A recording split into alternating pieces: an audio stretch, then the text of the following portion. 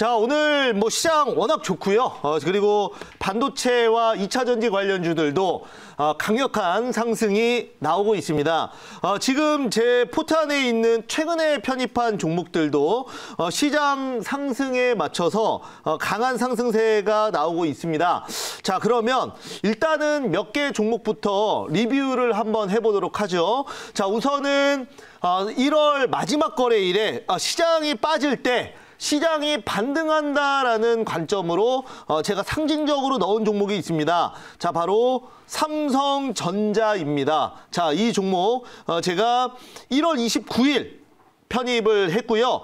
어제 반등 그리고 오늘 3%가 어, 넘는 강력한 상승이 나오면서 어, 삼성전자 1월 29일 매수 후 현재 한 3% 넘는 상승을 보여주고 있습니다. 어, 지금 어제 같은 경우에도 미국의 나스닥 기술주들이 아주 강한 상승세를 보였죠. 마이크로소프트, 애플, 테슬라 등등 우리가 말하는 기술주들의 상승 흐름 속에서 어, 삼성전자도 오늘 또 한번 어, 신고가를 향한 그런 힘찬 발걸음을 하고 있다. 라는 말씀 드리도록 하겠고요. 자, 그리고 이제 추가적으로 어제 편입한 또 종목이 있어요. 바로 파워로직스입니다. 자, 파워로직스 같은 경우에는 원래 스마트폰 판매 소비 쪽으로만 우리가 그동안 봤지만 이번에 현대기아차의 SQ 품질 인증을 받으면서 어, 다시 저점에서 강한 상승을 할 수 있는 새로운 모멘텀이 붙었다. 라는 말씀을 드렸었죠. 그런 관점에서 오늘 어, 파워로직스 장중에 뭐 5% 가까운 상승세를 보여주고 있습니다. 자, 그 다음에 2차 전지 쪽으로 지난달에 편입한 종목이 어, 삼지전자인데요. 삼지전자. 어, 실적이 너 실적과 매출이 너무나 좋은 가운데에서 어 영어 그 시총이 2,300억은 말이 안 된다. 그렇기 때문에 제가 편입했다라고 말씀을 드렸고요. 이 종목은 제가 1월 15일에 편입을 했는데 그리고 나서 17,250원까지 단기적으로 한 50% 가까이 급등을 했다가 어 지금은 좀 조정을 보여주고 있습니다. 저는 제가 봤을 때는 이 종목은 이미 편입이 돼 있기 때문에 재편입을 하기는 어렵지만은 지금 14,700원 현재가에서도 어, 삼지전자는 추가적으로 들어갈 수 있겠다. 이런 말씀을 좀 드려보도록 하겠고요. 자, 또한 AD 테크놀로지 그리고 어, HB 테크놀로지 HB 테크놀로지 같은 경우에는 이 OLED 디스플레이 쪽으로 이제 새로운 2021년에 어, 새로운 모멘텀을 받을 수 있는 게 AP 시스템 그 다음에 HB 테크놀로지 등등 OLED 관련주들. 단순히 TV와 스마트폰만으로 봤지만 이제는 전장 부품 쪽으로 새로운 모멘텀이 붙었기 때문에 더, 더 프리미엄을 쳐줄 수 있다. 이런 말씀을 드렸었죠. 어, 그동안 많이 눌려있다가 가는 건데 어, 기대를 많이 해주시기 바라겠고 자 AD 테크놀로지도 마찬가지입니다. 어, 동사 같은 경우에도 어, 지금 한번 크게 빠졌다가 올라오는 그런 상황인데요.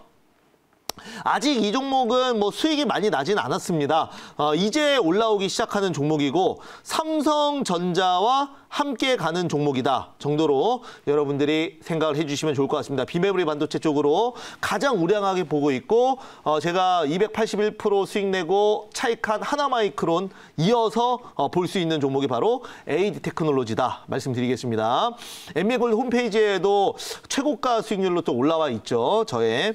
자, 그 다음에 오늘 그러면 신규 종목 한번 편입을 해보도록 할게요. 자, 오늘 신규 종목은 어, 제가 건설주는 거의 편입을 안 하는데 오늘 이 종목은 어, 지금 이번에 저점에서 또 단기 급등이 나와줄 수 있기 때문에 한번 편입을 해보도록 하겠습니다.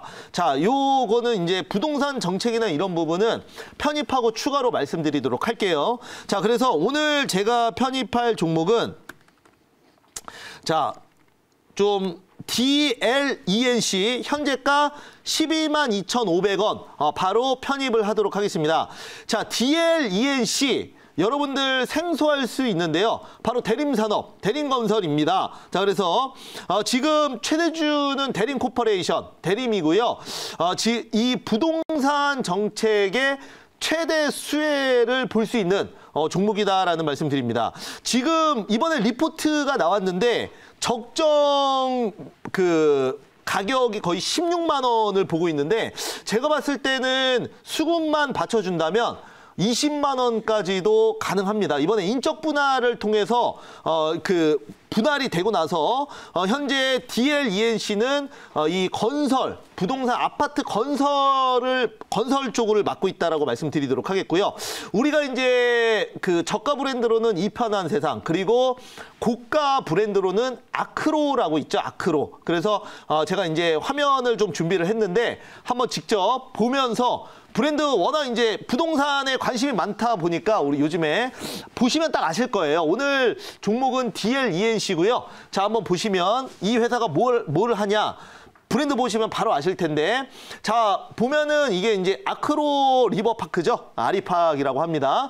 자 이 바로 대림산업 대림건설에서 만들어 만든 어, 고급 브랜드고요. 자 그다음에 이번에 또 하나 히트를 쳤죠. 성수입니다. 자 보시면 다음 화면. 아크로 서울 포레스트. 자 그래서 이제 보통 숨 옆에 지으면 포레스트고 그다음에 강 옆에 지으면 리버파크고 뭐 이런 식입니다. 그래서 중심에 있으면 뭐 센트럴 들어가고 보통 아파트 이름은 그렇게 짓습니다. 자 그래서 이거는 이제 성수동에 있습니다. 그래서 갤러리아 폴의 옆에 짓고 있는데 앞으로 이 부동산 쪽으로 어, 저는 이제 보고 있고요. 자 이제 그 자리에 가서 조금 더 말씀을 드리면 지금 이번에 서울시장 후보들이 그 공약을 내놓는 부분이 있는데 가장 지금 밀고 있는 게 바로 부동산 정책입니다. 아, 그래서 여당, 야당 할 거 없이 그리고 무소속 지금 서울시장으로 나온 후보분들이 모두 하는 얘기가 어, 현재 서울의 규제를 해제하고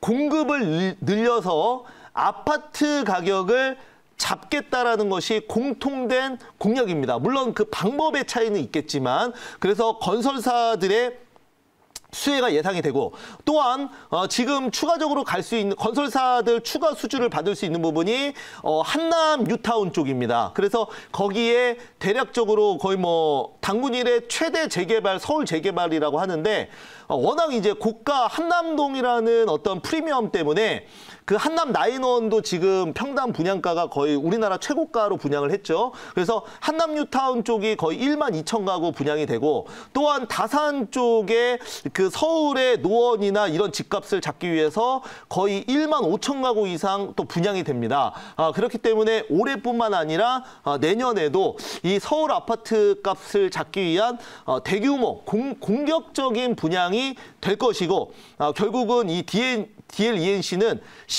니 시공사기 때문에 가격을 아무, 래도 아파트 가격이랑 상관없이 분양이 잘 되기만 하면은 그만큼 수익을 얻는 구조입니다. 그래서 요즘 프리미엄 아파트들이 계속 생기기 때문에 건설사에게는 절대적으로 유리하다라는 말씀 드립니다. 자, 그러면 한번 질문 한번 받아볼게요. 네. 네. 어, 제가 질문을 좀 해보도록 하겠습니다. 네. 어, 지금 이제 뭐 DLENC라는 또 회사를 가지고 나오셨는데, 네. 그다음 이제 건설업체들을 보게 되면 이제 뭐 GS 건설도 있고, 네. 현대 건설도 있고, 네. 뭐 여러 건설업체들이 있는데 네. 그 건설업체들보다 네. DLENC가 좀 더 어, 잘하고 좀더 네. 차별화되어 있는 부분이 있다면 뭐가 네네. 있을까요? 우선은 어, 자 좋은 질문입니다. 우선 건설사들은 전체적으로 제가 다 좋게 봅니다. 뭐 현대건설뿐만 아니라 뭐 GS건설 등등 거, 각마다 또 프리미엄 브랜드가 있죠. 뭐 아이파크, 뭐 자이, 뭐 여러 가지 어, 브랜드 레미안 브랜드가 많이 있는데 그 안에서 이 저는 DLENC는 최근에 분할하고 신규 상장했기 때문에 어, 가격적인 측면에서 훨씬 더 메리트가 있다고 보는 겁니다. 그래서 어, 저는 이 주택 아파트 브랜드 쪽으로 상당히 좋게 보고 있지만 그 안에서 하나만 뽑자면 DLENC 말씀드리겠습니다. 자, 그래서 동사 같은 경우에 1차 목표가는 어, 제가 13만 5천 원, 2차 목표가는 어, 16만 원, 손절가는 10만 원 말씀드리겠습니다.